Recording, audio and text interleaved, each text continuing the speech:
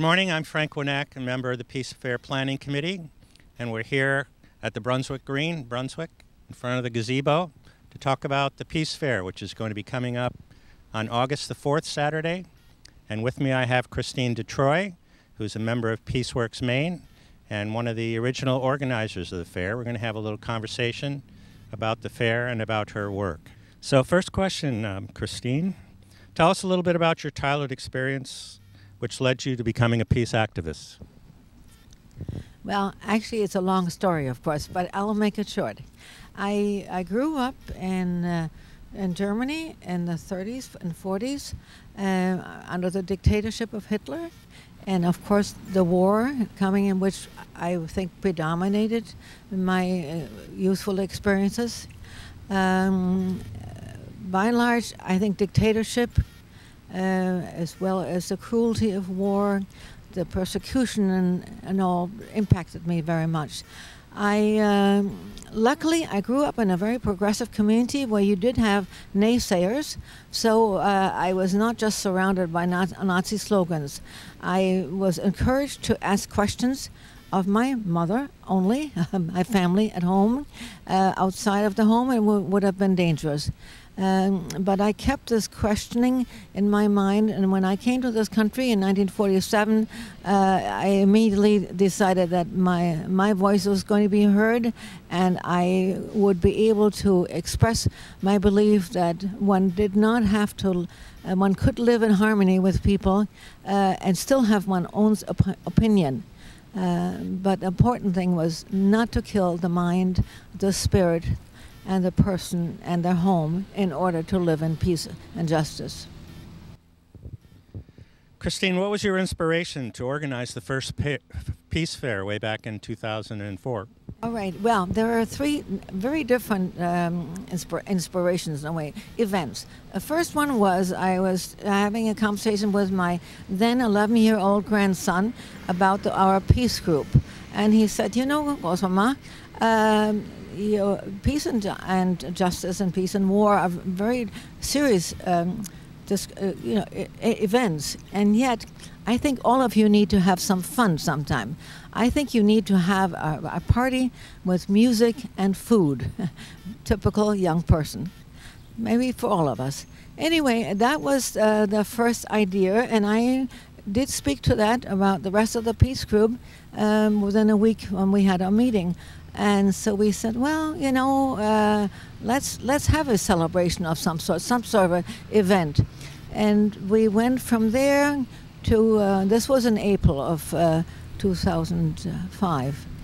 Anyway, and uh, thinking about the fact that it was uh, 60 years since uh, Hiroshima and Nagasaki and the end of World War II, we said this will be our theme: peace in this world, it is possible. The third uh, in, impetus was really also uh, remembering uh, Bruce Gagnon, one of our peace activists, who had held a small peace fair in Tampa, Florida, where we lived some years ago. And I remembered being together with a group there and it, was not just supportive of one another, but we did have fun together and fun along with uh, thinking about the importance of peace for all the world was, was a good combination.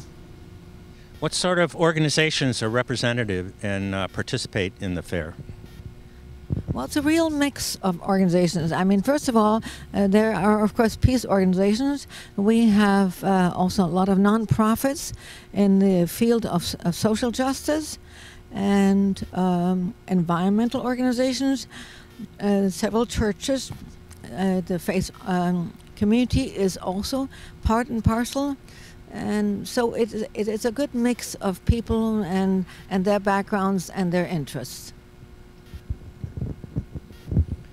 I know that the fair always occurs the first weekend in August because that coincides with the anniversary of the atomic bombing of Japan ending World War II. But does the focus or the theme of the fair change from year to year? Uh, well, uh, good question.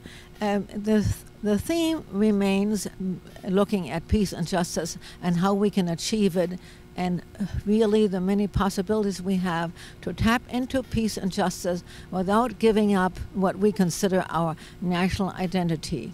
So, yes, the theme uh, changes some, the focus doesn't. And what's the basic message that you hope to convey uh, for those that attend the fair? The word peace is the important part of it. Justice is another important part.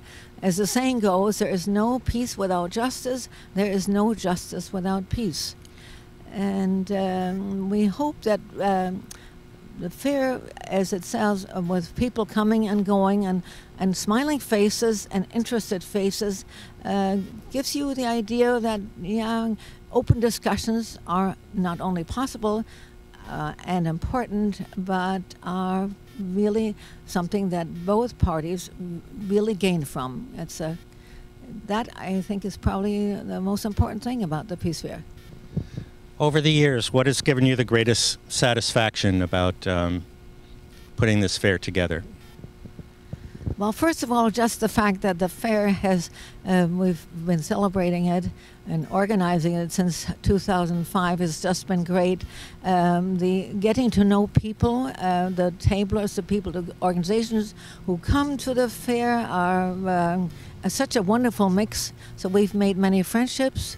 Uh, the fair goers who people come are great. And then also, it has been wonderful the relationship we've had with the town of Brunswick and the freedom that we have on using the the, uh, the town green without uh, without restrictions. Uh, I think it's all been very positive and uh, great satisfaction. Well, thank you, Christine, and. Um, we hope that you'll all come to the Peace Fair. It will be Saturday, August 4th from 10 a.m. to 3 p.m. The theme for this year's fair is Imagine a World Without Nuclear Weapons. And we hope that uh, it's a nice, as nice a day as it is today on August 4th. And we hope to see you there. Thank you.